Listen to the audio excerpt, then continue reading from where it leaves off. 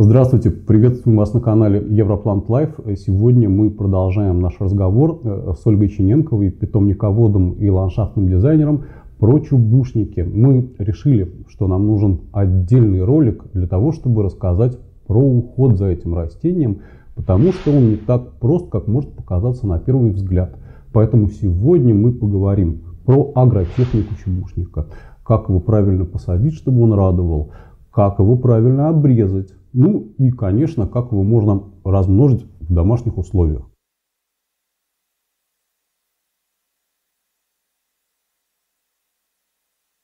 Здравствуйте, Ольга. Здравствуйте, Андрей. Ну, что хочется сказать в первую очередь. Да, действительно, кустарник неприхотливый, мы все это знаем. И поэтому иногда этот кустарник сажается в совсем неподходящие для него места, где он не может проявить всю свою декоративность. Ну, например, при всей его теневыносливости, если мы вспомним э, чубушник, который произрастает на Дальнем Востоке, тонколистный, он растет в подлеске, да, он создает как раз самый такой массивный подлесок в этих лесах. Он действительно теневынослив, но он и не цветет там так обильно, как мог бы цвести. Поэтому все-таки мы рекомендуем сажать его либо на солнечном месте, он прекрасно выдерживает полное солнце, и в этом случае он дает массовое цветение, обильное цветение, но и более короткое по времени. Также он хорошо растет, как мы поняли на своем опыте, в полутени. И я даже не могу вам порекомендовать, а что же лучше, потому что в полутени, пусть это будет не настолько обильное цветение, зато оно будет более растянутое. Вы можете наслаждаться им более длительный срок. При этом у нас в целом не так много кустарников, которые остаются декоративными в полутени, поэтому это тоже такое хорошее свойство. Конечно, таких мест обычно больше у нас не занято. Да, да.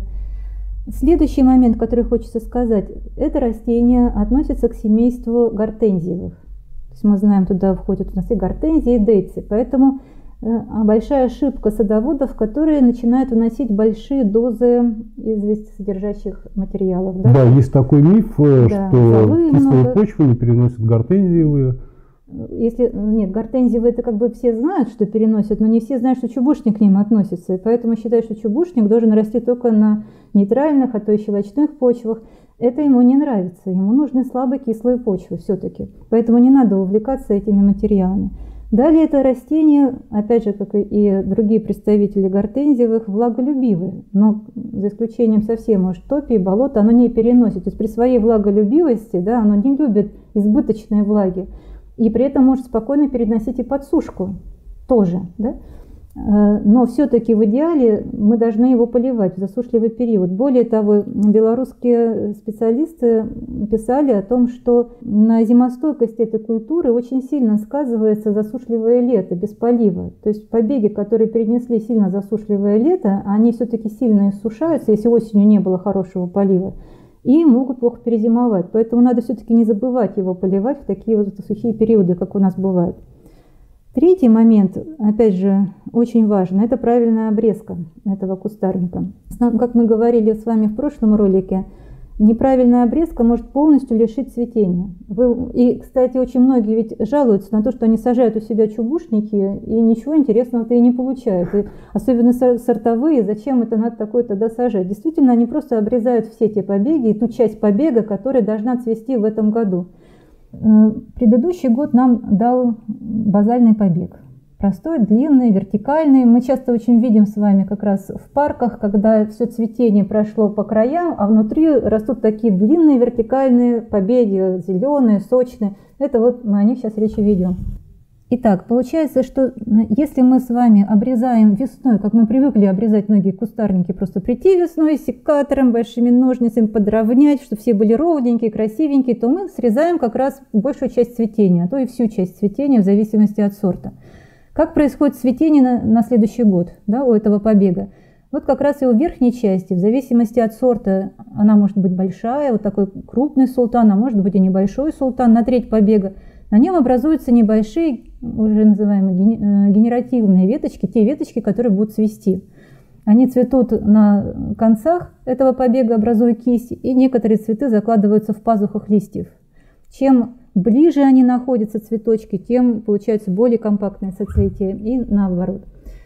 И именно уже после того, как ваш кустарник отцвел, вот тогда и надо проводить обрезку. Вот эта обрезка, она как раз и будет способствовать потом хорошему цветению на следующий год вот этих побегов, поскольку сам кустарник не будет завязывать семена, не будет тратить на это время. У вас не будет образовываться этих некрасивых коробочек, которые часто смущают нас в парках, да? И позволит все силы пустить на новые побеги уже следующего порядка. Вот именно получается после цветения, обычно у нас это конец июля, либо там в зависимости от сорта начало августа, надо проводить вот эту обрезку. К сожалению, чубушники в принципе не подходят для стриженных живых изгородей, надо это понимать да. изначально. Это культура, которая годится именно для таких свободно растущих изгородей, если вы ее сажаете. Они прекрасны, потому что это красивая, широкая, цветущая, живая изгородь. Для этого много сортов существует но их тоже надо правильно обрезать, иначе у вас ваша изгородь тоже не будет цвести. Вот такой нюанс по части обрезки. Еще что хочется сказать насчет обрезки побегов. Очень часто бывает, что у нас сырая затяжная осень. Да? Она, естественно, провоцирует любые кустарники на более длительное созревание побегов и более длительный рост, что тоже негативно сказывается на их зимостойкости. Поэтому очень полезно, в том числе и чубушники, прищипывать вот такие долгорастущие побеги, их макушечку где-то в конце августа, начало сентября. Это останавливает их рост и способствует начинанию именно одревеснения данного побега, что очень важно. На самом деле эта операция проводится с большим диапазоном разных кустарников именно вот с этой целью, чтобы они лучше зимовали в нашем климате, чтобы остановить вот этот вот рост. Поскольку во многих э, сортовых растениях есть южные гены, и они вот как раз и заставляют растения при благоприятных условиях расти чуть длиннее, чем бы росли наши местные виды. Вот такие нехитрые моменты, если вы их знаете, да, то они нам позволят выращивать очень красивые кусты, обильно цветущие каждый год. Но что касается теперь обрезки взрослых кустов, то сейчас мы с вами больше показали обрезку молодого куста. Да? Правда, если уж говорить о совсем молодых кустах, вот вы купили молодой чубушник, и если, конечно, у вас рука поднимется, то очень полезно обрезать его вообще сразу же на пенек.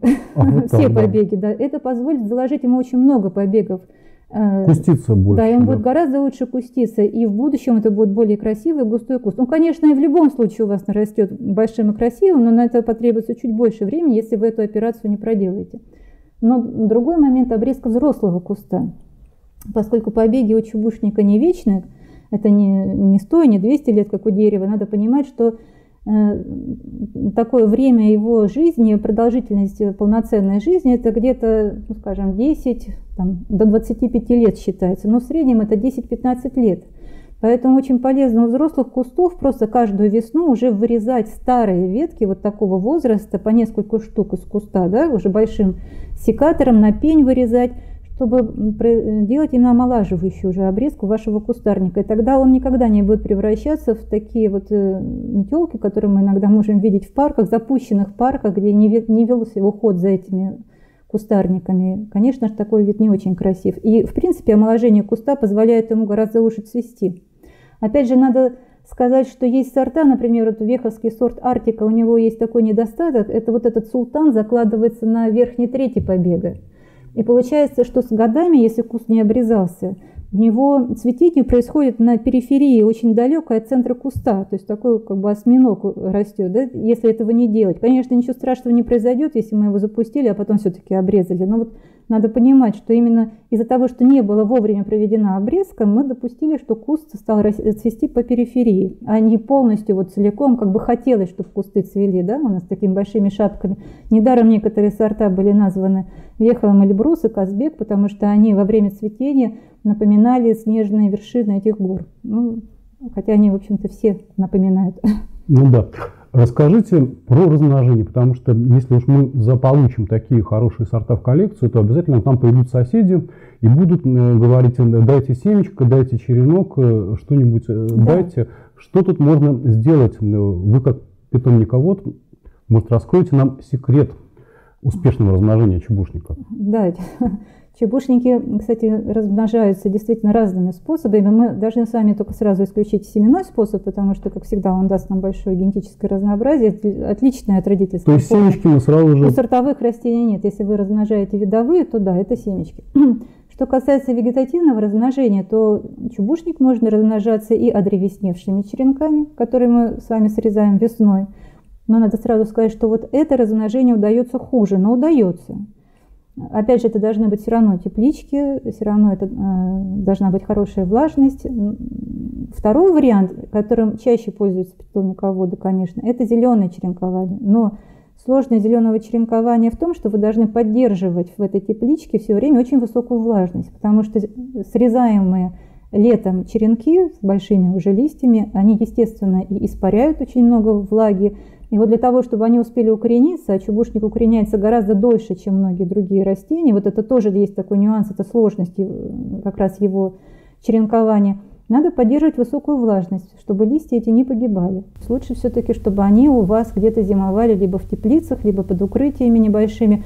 Они более уязвимы в зимнее время. Дальше уже куст зимует хорошо. То есть на следующий год, когда вы его сажаете на постоянное место, он уже будет зимовать хорошо. Многие кстати, любители также пользуются отводками. То есть можно прикопать боковые ветви у взрослого куста в землю, а потом просто уже отделить укоренившуюся вот, наверное, веточку. это самый простой Это очень способ. простой способ, да, и доступный, и не надо укорачивать там цветущие побеги, обрезать, потому что обычно идет именно цветущая часть, вот эта вот маленькая веточка, вот она часто используется на укоренение. Потому что других бывает просто и нету на кусте. Когда он обильно цветет, других веточек просто нет. Ну, и потом он уже практически не дает прикорневой поросли, то есть э, что-то да. от куста отщепить э, с пяточкой и кусочком корешка, мне кажется, тоже, наверное, не очень перспективная да. история. Вы знаете, э, помню, много-много лет назад я была свидетелем, когда делился очень большой старый куст чебушника венечного. Надо сказать, что делился он очень легко,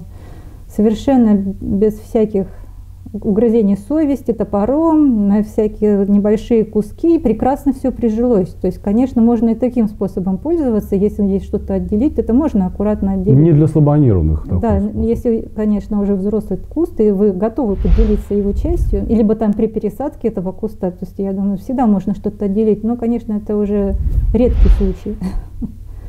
Хорошо, Ольга, спасибо огромное. Я надеюсь, что эта информация тоже пригодится нашим зрителям. Если у вас еще остались какие-то вопросы по агротехнике, уходу и размножению чебушников, пользуйтесь случаем, пока у нас Ольга в гостях. Какое-то время, я думаю, что она будет у нас и в комментариях на YouTube. Поэтому пишите ей, задавайте свои вопросы. Всего доброго.